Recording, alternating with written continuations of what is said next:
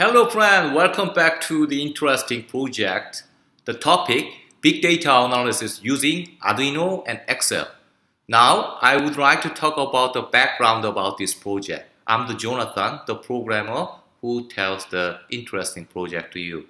Okay, let's talk about the background of this project. Uh, first thing is about the project motivation. As I mentioned in the last section, the first section of this project, my son and I thought this project when we saw the project in the wind. There were two major questions for us. First thing, will wind speed vary with altitude? Second, will the relationship between wind speed and altitude be affected by external factors such as time, temperature, and humidity? This curiosity brought us to start this project. Now, let me go over the theoretical background of this project. After we decide to start this project, my son and I have studied related article and study in the web and library and in order for us to catch up sufficient background about the information, especially weather and wind. I can summarize our study into two main theories. Again, let me ask this explanation to my friend Jeannie. Jeannie, please, Jeannie, please explain this. Yes, sir. Let me explain. Theory 1. When altitude changes, wind speed also changes.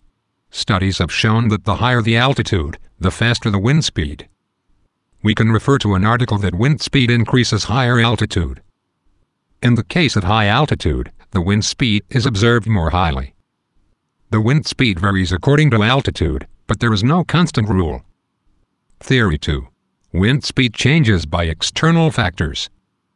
Wind speed is influenced by various external factors as well as altitude. It is difficult to find a certain rule in the change of wind speed. So, it is important to understand by big data analysis. Well, thank you, Jeannie. Oh, still now, we have gone over general introduction and background of this project. Now, we are ready to move on the next step to make the equipment and program by ourselves and relate to big data analysis. See you next time. Thank you very much.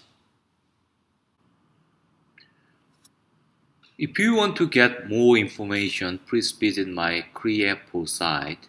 And if you want to get full article and script about this movie clip, please visit my blog site.